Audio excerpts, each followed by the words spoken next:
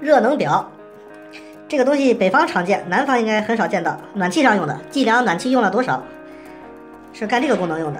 首先看外形，外形就像是一个小水表，但是它有线，从这表上面出来两根线，一根线接到这儿，还有一根线接到另一根管上，回水管，一根是进水管，一个是回水管。然后它就可以计量出来你用了多少热量，然后看功能，这有一个按钮，表号，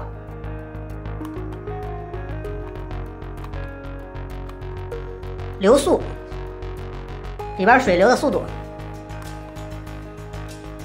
流量，一共流了多少立方米的水，进水的温度，就是通过这个 PT 一千的温度探头可以看出来。回水的温度，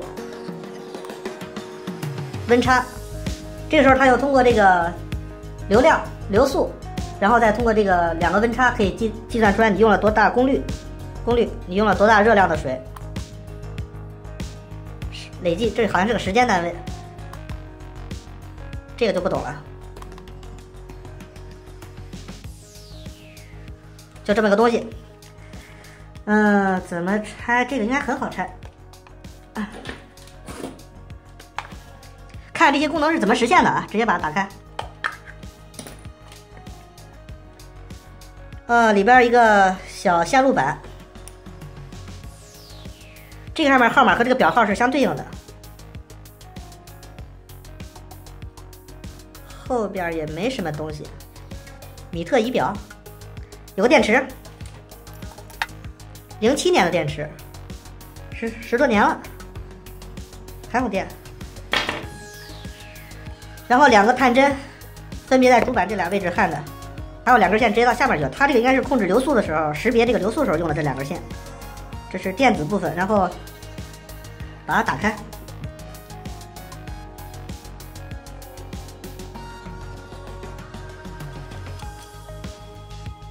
这个简单介绍一下，这个东西叫 PT 一千温度探头，它是随着温度而改变它的电阻大小。通过它的组织可以判断出来当前的温度。怎么拆？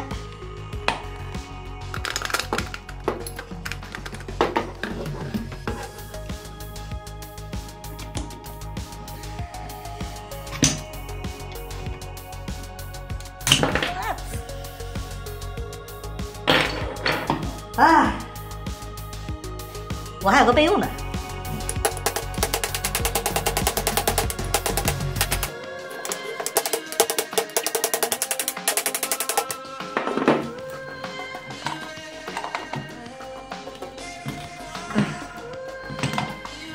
居家必备。哦，什么意思？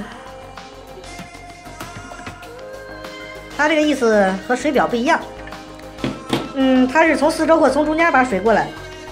我看从箭头啊，它是从四周，它是从四周把水过来，然后通过它进到这里边，里边应该是个涡轮。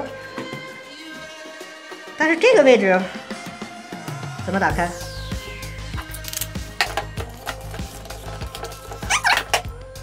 可以旋转，但是它下不来。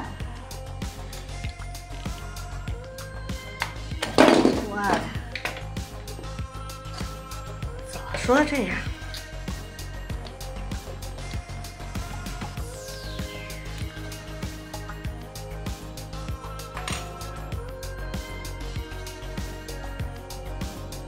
这个涡轮上面有两个感应的金属片，然后应该是和里边应该也有相应感啊，对，这有。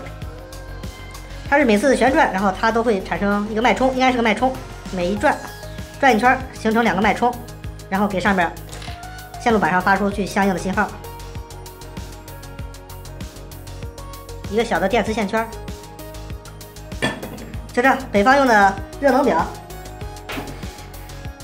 这个东西很眼熟呀。